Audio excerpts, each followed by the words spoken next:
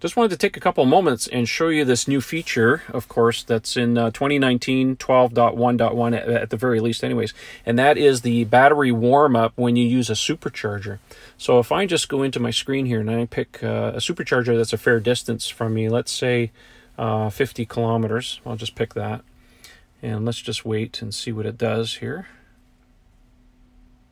Okay, so we're waiting for this. All right, so it's predicting I'm going to arrive with 66% uh, battery left. So if I, very quickly here, let me just go back and then what I'll do is I'll go to this particular supercharger. This is the one that it picked. And instead of picking the supercharger, I'm just going to pick the area that's right next to it.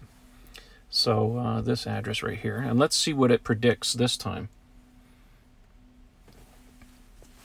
So it's predicting 68.